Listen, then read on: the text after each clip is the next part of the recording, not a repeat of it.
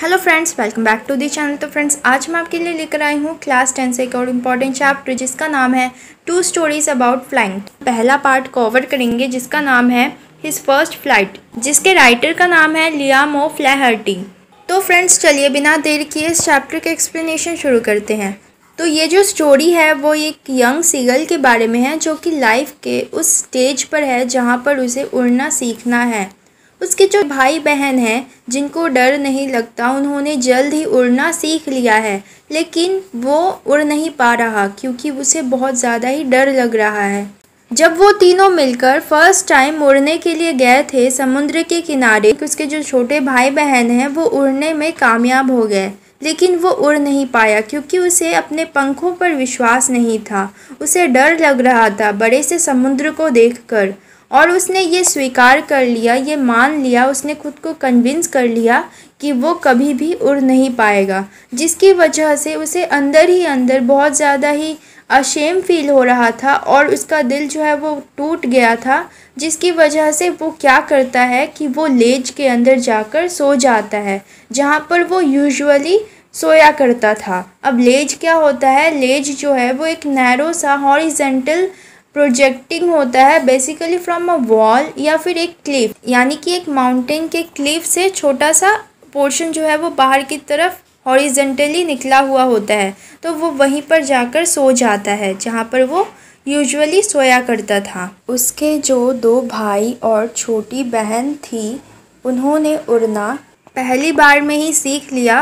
जबकि उनके विंग्स जो थे, उनके जो पंख थे, वो उस सीगल से छोटे थे। फिर भी उन्होंने उड़ना सीख लिया मैनेज कर लिया। लेकिन वो बार बार कोशिश कर रहा था, लेकिन वो अपने अंदर वो करेज नहीं जुटा पा रहा था। वो हिम्मत उसके अंदर नहीं आ रही थी। तो उसके जो पेरेंट्स थे, उसे बार बार डांट रहे थे कि तुम फिर से कोशिश करो, लेकिन वो बहुत ज़्यादा ही डरा हुआ था और वो इतना ज़्यादा डरा हुआ था कि वो हिल भी नहीं पा रहा था, वो मूव भी नहीं कर पा रहा था। अब पूरे एक दिन बीत चुके थे और वो एकदम अकेला था क्योंकि उसके जो पेरेंट्स थे, वो उसके छोटे भाई बहन के साथ बिज़ी थे। वो उन्हें अच्छे से उड़ना सिखा रहे थे और अपने फ़िश को कैसे पकड़ा जाए, अपने फ़ूड को कैसे पकड़ा जाए, वो उन्हें सिखा रहे थे। इनफैक्ट वो अपने ओल्डर ब्रदर को देखता है कि उसने अपना पहला जो फ़िश है हेरिंग उसे पकड़ लिया है। और वो उसे प्राउडली खा रहा था एक रॉक पर खड़े होकर और उसके जो पेरेंट्स थे वो सेलिब्रेट कर रहे थे उसके साथ। तो उस सुबह उसके जो पेरेंट्स हैं वो उसके पास आते हैं और उसे टॉन्ट मारते हैं कि तुम इतने डरपोक क्यों हो? अब जो सन है वो अच्छे से राइज हो गया था, यानी कि जो सूरज है वो निकल गया था और जो यंग सीगल है उसे धीरे धीरे गर्मी लग रही थी। पहले से ज़्यादा, यानी कि बहुत ज़्यादा, उसे पहले के मुकाबले बहुत ज़्यादा गर्मी लग रही थी क्योंकि वो भूखा था, उसने पिछली रात से कुछ भी नहीं खाया था। तो वो जो यंग सीगल है, वो क्या करता है कि वो अपने लेज से थोड़ा आगे चलकर आता है, फिर वो अपना एक पैर उठाकर ऐसे प्रिटेंड करता है कि वो सो गया है, ताकि उसे अपने फैमिली से कुछ अटेंशन मिल सके। स्टिल इसके बावजूद भी कोई उसे नोटिस नहीं करता। उसके जो छोटे भाई बहन थे, वो सो रहे थे। उसके जो फादर थे, वो अपना फेदर यानी कि अपने पंख को वो क्लीन कर रहे थे। अपने बीक से, अपने चोंच से वो अपने फेदर को क्लीन कर रहे थे। और उसकी जो मदर थी, वो दूसरे प्लेटों पर खड़े होकर अपना फ़िश जो है, वो खा रही थी। तभी वो उसको नोटिस करती हैं। तो जो यंग सीगल था, उसे पहले से बहुत ज़्यादा ही भूख लगी थी और जब उसने अपनी माँ को वैसे फ़िश खाते हुए देखा तो उसकी भूख जो है वो बहुत ज़्यादा ही बढ़ जाती है और वो एकदम पागल सा हो जाता है भूख के मारे। वो अपने मदर के एक्ट को देखता है कि वो जिस तरह से फ़िश को टीयर कर रही थी, फिर वो अपने बीक से, अपने चोच से उस पर स्क्रैप कर रही थी, उसे मार रही थी। तो वो एक्ट देखकर वो एकदम भूख के मारे पागल सा हो जाता है। तो क्योंकि वो भूखा था तो वो भूख के मारे अपनी मदर को देखकर चिल्लाता है। उसकी मदर भी चिल्लाती है गुस्से से। लेकिन वो रोना बंद नहीं करता, वो चिल्लाता ही रहता है। तभी उसकी जो आवाज़ है रोने की वो जॉयफुल में बदल जाती है, यानी कि एकदम खुशी के मारे वो चिल्लाने लगता है जब वो देखता है कि उसकी जो मदर है वो उसकी तरफ़ ही उड़कर आ रही है with the piece of fish यानी कि वो मछली का टुकड़ा लेकर उसकी तरफ़ उड़कर आ रही थी। तो वो ये देखकर खुशी के मारे चिल्लाने लगता है। वो खुशी के मारे बहुत ज़्यादा ही एक्साइटेड हो जाता है जब वो देखता है कि उसकी मदर जो है वो उसके पास आ रही है और वो अपनी मदर की तरफ़ लीन करता है, यानी कि झुकता तभी अचानक वो देखता है कि उसकी मदर जो है वो उससे ज़्यादा दूर नहीं, लेकिन रुक गई हैं। वो एकदम से स्टॉप हो गई हैं। ऐसा लग रहा है कि वो एकदम स्टैचू हो गई है, वो हिल नहीं पा रही है। तो एक्साइटमेंट में और भूख के मारे वो कुछ भी बिना सोचे वो एकदम डाइव करता है फ़िश की तरफ़ उसे लेने के लिए। और वो ये भी नहीं सोचता कि वो डर रहा था उड़ने से। तो ये जो डर का ख्याल है वो एकदम से उसके दिमाग से निकल जाता है और खुशी के मारे और भूख के मारे वो बिना कुछ सोचे डाइव करता है फ़िश की तरफ़, यानी कि उड़ने की कोशिश करता है। तो वो इतना एक्साइटेड हो गया था कि वो फ़िश को लेने के लिए डाइव करता है और जैसे ही वो डाइव करता है तो कुछ मोमेंट के लिए वो एकदम शॉक हो जाता है और उसके अंदर जो डर है वो आ जाता है, वो कुछ भी नहीं करता, बस गिरता चला जाता है। तो कुछ पलों के लिए वो एकदम से शॉक हो जाता है, उसके अंदर डर आ जाता है और वो एकदम से स्टील हो जाता है। लेकिन ये सब कुछ जो है वो कुछ ही पलों के लिए चलता है और फिर वो क्या करता है कि वो धीरे धीरे अपना फेदर जो है वो खोल लेता है और जैसे ही वो अपना फेदर ओपन करता है, वो उड़ने लगता है। वो फील करता है अपने विंग्स को, अपने फेदर्स को, अपने स्टोमक को। वो फील कर रहा था और वो ये भी फील करता है कि कैसे उसके जो विंग्स थे, वो हवा को एकदम चीरते हुए उड़ रहे थे। अब उसे बिल्कुल भी डर नहीं लग रहा था। और वो थोड़ा सा नर्वस था कि तभी उसकी मदर जो है वो उसके पास आ जाती है और उसे कंपनी देती है। फिर उसकी जो पूरी फैमिली है वो चिल्लाते हुए खुशी के मारे उसके पास आ जाती है और वो सेलिब्रेट करने लगती हैं कि उसने अपने डर पर काबू पा लिया। एक बार जब वो अपने फियर पर, अपने डर पर काबू पा लेता है तो वो सब कुछ भूल जाता है। वो ये भी भूल जाता है कि वो कभी डरता भी था उड़ने से। तो वो क्या करता है कि वो सी के ऊपर एकदम स्ट्रेट फ्लाई करता है और फिर वो देखता है वो ग्रीनरी वो माउंटेन्स जो उसके नीचे थे और फिर वो स्क्रीम करता है, चिल्लाता है खुशी के मारे और वो बहुत ज़्यादा ही इंजॉय कर रहा था अपने विक्ट्री को, अपने जीत को वो बहुत ज़्यादा ही इंजॉय कर रहा था। तो जब वो लैंड करता है तो उसके साथ उसकी पूरी फैमिली जो है एकदम प्राउडली लैंड करती है और वो सभी चिल्ला रहे थे स्क्रीम कर रहे थे एक्साइटमेंट में, खुशी में, अपने हाई पिच वॉइस में। फिर जो यंग सीगल है, वो सी के पास जाता है, जहाँ पर कभी वो जाने से डरता था और पैनिक हुआ करता था। तो वो सी के पास जाता है, लेकिन फिर से वो पीछे हट जाता है क्योंकि वो बहुत ज़्यादा ही थक चुका था और वो कमज़ोर हो गया था।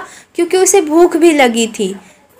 फिर जब वो अपने आप को काम कर लेता है एकदम शांत कर लेता है तो, तो फिर वो सी के ऊपर तैरने लगता है स्विम करने लगता है फ्लोट करने लगता है जिसको लेकर वो पहले डरता था लेकिन अब वो फ्लोट कर रहा था। फिर उसकी जो फैमिली है वो सेलिब्रेट कर रही थी एक्साइटमेंट में और वो उसे फ़ूड ऑफ़र करते हैं उसे डॉग फ़िश देते हैं खाने के लिए।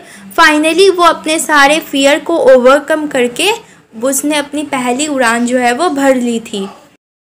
टू स्टोरीज़ अबाउट फ्लाइंग तो ये इसका पार्ट टू है जो कि है ब्लैक एरोप्लेन तो फ्रेंड्स इस चैप्टर के जो राइटर हैं, उनका नाम है फ्रेडरिक फॉरसिथ तो फ्रेंड्स चलिए इस चैप्टर का एक्सप्लेनेशन शुरू करते हैं। तो वो रात का समय था, पूरा आसमान जो है वो एकदम क्लियर था, साफ़ था। जो स्टार्स है, वो ट्विंकल कर रहे थे, जो तारे हैं, वो चमक रहे थे। जो पायलट है, उसे बहुत ज़्यादा ही पीस महसूस हो रहा था, शांति महसूस हो रहा था। वो कंट्री के ऊपर उड़ रहा था और पूरी कंट्री जो है, वो सोई हुई थी। और वो अपने प्लेन को फ्रांस से इंग्लैंड की तरफ़ उड़ाकर लेकर जा रहा था। करीबन साढ़े एक बज रहा था इन द मॉर्निंग यानी कि one thirty in the morning हो रहा था टाइम और वो ड्रीम कर रहा था अपने हॉलीडेज़ के बारे में कि जल्द ही वो अपने फैमिली के पास पहुँच जाएगा और अपनी छुट्टियाँ उनके साथ बिताएगा। जब एरोप्लेन जो है वो फ्रांस में था तो पायलट जो है वो सोचता है कि वो पेरिस कंट्रोल को इन्फॉर्म कर दे कि वो कहाँ है और कुछ इंस्ट्रक्शन ले ले उनसे। उसी टाइम जो पेरिस सिटी से लाइट आ रही थी वो उन्हें देख पा रहा था तो तो वो इन्फॉर्म करता है कंट्रोल एजेंसी को कि वो उसे रिप्लाई करे फर्दर इंस्ट्रक्शन दे डायरेक्शन को लेकर। तो कंट्रोल रूम पेरिस जो है, वो उसे इंस्ट्रक्ट करता है कि उसे 12 डिग्री टुवर्ड्स द वेस्ट मुड़ जाना चाहिए। तो इंस्ट्रक्शंस मिलने के बाद वो उसे फॉलो करता है और वो अपना लास्ट फ्यूल टैंक जो है, उसे यूज़ करने लगता है। तो ऑल दिस टाइम वो अपने फैमिली के बारे में ड्रीम कर रहा था। फिर वो सोचने लगता है कि जल्द ही वो अपने फैमिली के पास अपने डेस्टिनेशन पॉइंट पर पहुँच जाएगा और वो उनके साथ एक अच्छा सा ब्रेकफास्ट करेगा। और वो बहुत ज़्यादा ही काम था क्योंकि सारी चीज़ें जो है वो प्लान के मुताबिक हो रही थी। नाउ जो प्लेन है, उसने पेरिस को क्रॉस कर लिया था। और वो जब पेरिस को क्रॉस करता है तो वो अपने सामने बादल देखता है क्लाउड्स देखता है। तो क्लाउड्स का होना आसमान में ये बहुत ज़्यादा ही अनसेफ होता है और वहाँ पर चांस था स्टॉर्म आने का, क्योंकि वो स्टॉर्म क्लाउड्स थे।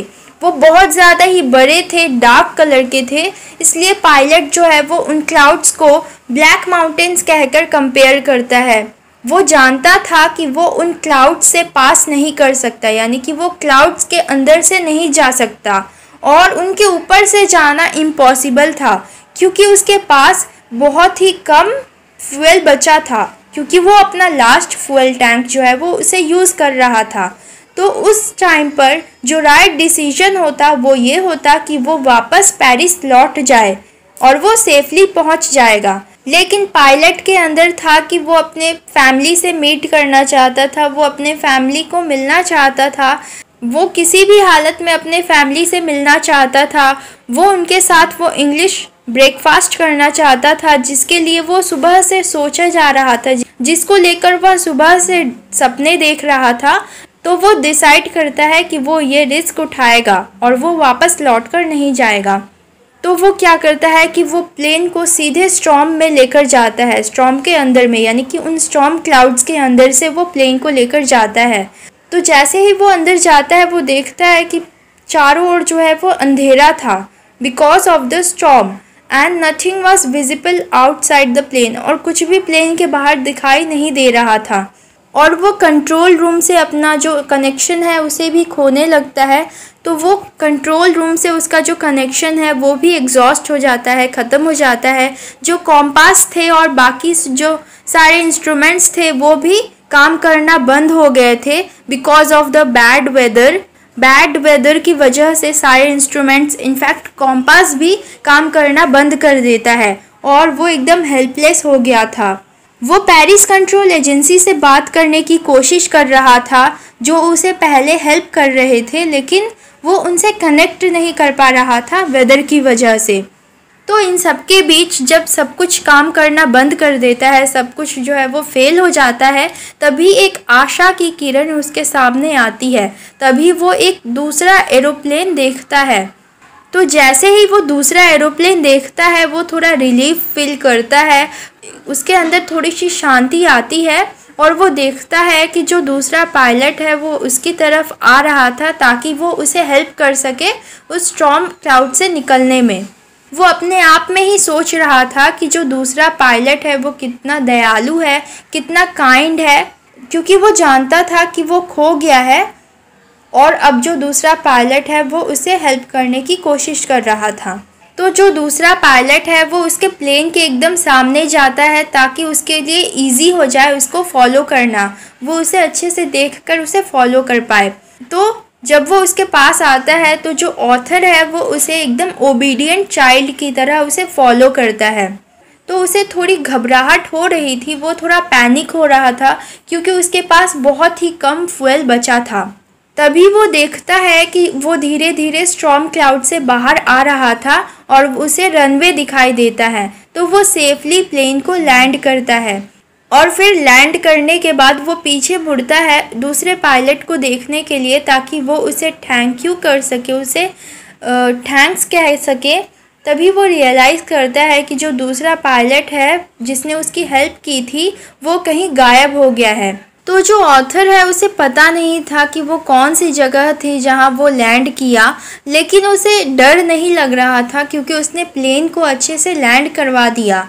तो वो क्या करता है कि वो डकोटा से उतरने के बाद सीधे कंट्रोल टावर जाता है और वो वहाँ पर जाकर एक वुमेन से पूछता है कि वो अभी कहाँ है और वो उस दूसरे एरोप्लेन और उस पायलट के बारे में उस वुमेन से पूछता है। तो जैसे ही वो दूसरे एरोप्लेन और उस पायलट के बारे में पूछता है तो पहले तो वो वुमेन जो है वो हंसने लगती है और फिर वो कहती है कि, दूसरा एरोप्लेन, मैंने इस स्टॉम में आपके प्लेन के अलावा और कोई भी प्लेन उड़ता हुआ आज रात नहीं देखा रडार पर. तो इस पर जो ऑथर है, वो सोचता है कि आखिर किसने उसकी हेल्प की बिना कॉम्पास बिना रेडियो और कम फ्यूल में उसे सेफली लैंड करने में। आखिर वो बिना लाइट्स वाले एरोप्लेन में बैठा पायलट कौन था? तो इसी क्वेश्चन के साथ आपकी जो स्टोरी है, आपका जो चैप्टर है, वो ख़त्म हो जाता है।